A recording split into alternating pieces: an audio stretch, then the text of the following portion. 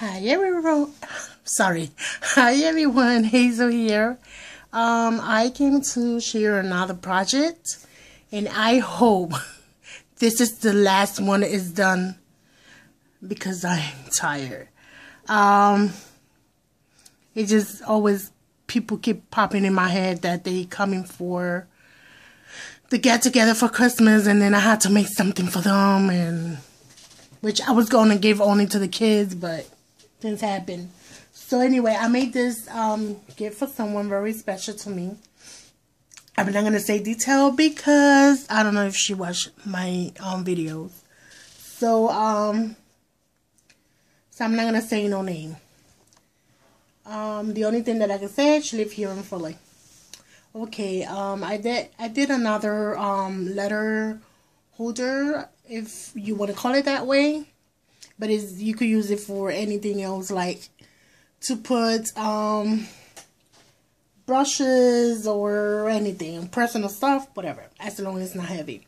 So this is a project and I am in love with. Let's start from the top. This time I use um one of Bella's hanger and I just decorate it. Because it's easier this way than um, the other way. Um, I made this um, this beautiful flower.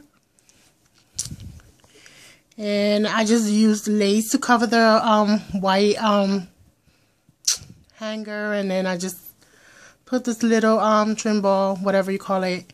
And then this other trim on the bottom. And then a screen, the whole thing almost a screen.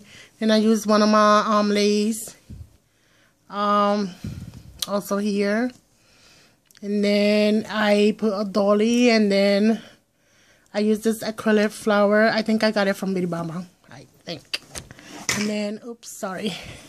Just let me, because I have a mess in here.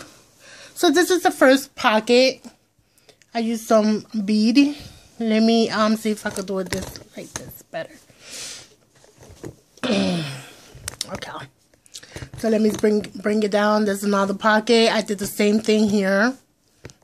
And this is the bottom part. I use um this um acrylic um this is acrylic no this is um plastic um flowers and I love this and then um this ends, lace, whatever you want to call it.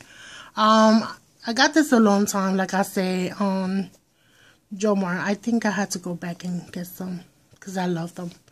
So, um, yeah, that's the way it looks. Um, the pocket's big enough. I hope that will help her. But, and then I made this flat um, her with um, resin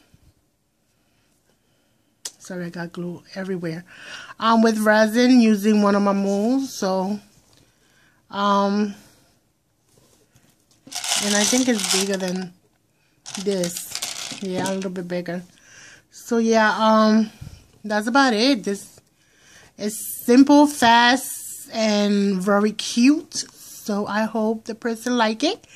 Please comment what you think. Share the video, like, and um, subscribe if you haven't subscribed. Um, and that's about it. See you next video. Bye.